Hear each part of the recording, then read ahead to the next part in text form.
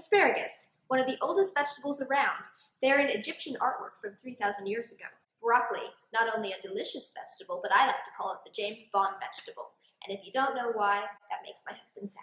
And peas. The pea plant has an annual lifespan, which means it lives and dies in a year. What do all these ingredients have in common? They are going to make a delicious stage 2 puree for your baby in just a few minutes.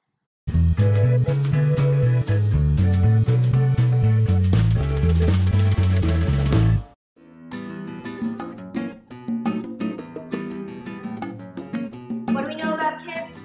They don't want to eat their vegetables, and they especially don't want to eat their green vegetables, which is why it's really important to introduce these vegetables early, because if you introduce them early, it's what they're going to crave later in life. First things first, asparagus.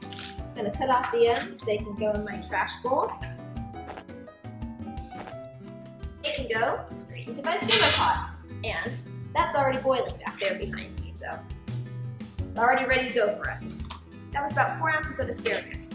Next goes in our broccoli. I did the pre-cut broccoli florets. You can feel free to cut your own florets if you'd like. That was about five ounces of broccoli. And lastly, one cup of peas. These are just frozen organic peas. Into our steamer pot we go.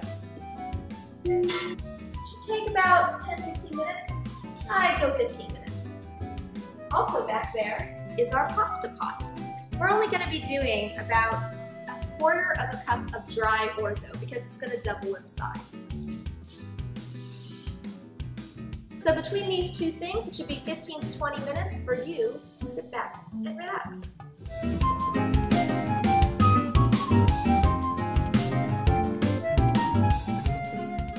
And now I know that you should never pick your wines based on labels. However, that's exactly what I did. I mean, really, look how pretty that is.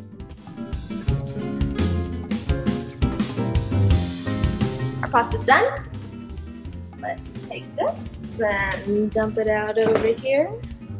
Let's check our veggies, shall we? Mmm, yum. After I make this puree, I'm gonna add the orzo. This is for um, an 8-month-old and above, if even need 10 months old. At this point, they should be chewing a little bit more, so I don't like to break that pasta down too much. A half a cup of Parmesan cheese. Now, we can't have salt in our baby food, but we can have this non-lactose cheese. And it's also going to add calcium for our baby. And I'm going to add this as I go, but here's just a bit of chicken stock. You know, if you really want to make this good, you could puree it and throw it in a saute pan with some olive oil and some garlic and some chicken stock and a little onion. Have that as a family dinner as well.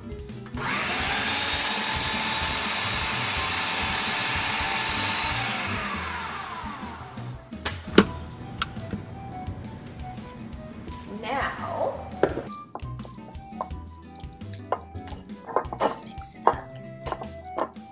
You know, my mom used to make me a pasta that was pretty much exactly this. And I really feel like that's why I love these vegetables so much because I used to crave this pasta.